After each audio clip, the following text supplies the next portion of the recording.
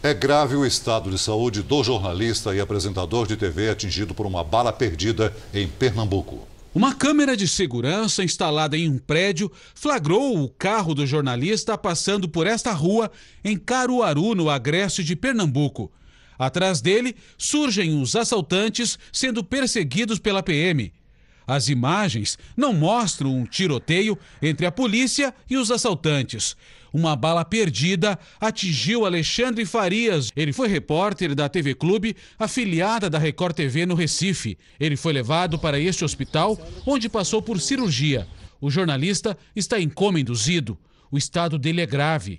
Peritos do Instituto de Criminalística do Recife estiveram em Caruaru para analisar os carros do jornalista e da polícia que tinham marcas de tiros. As armas dos policiais que estavam no tiroteio também passaram por perícia.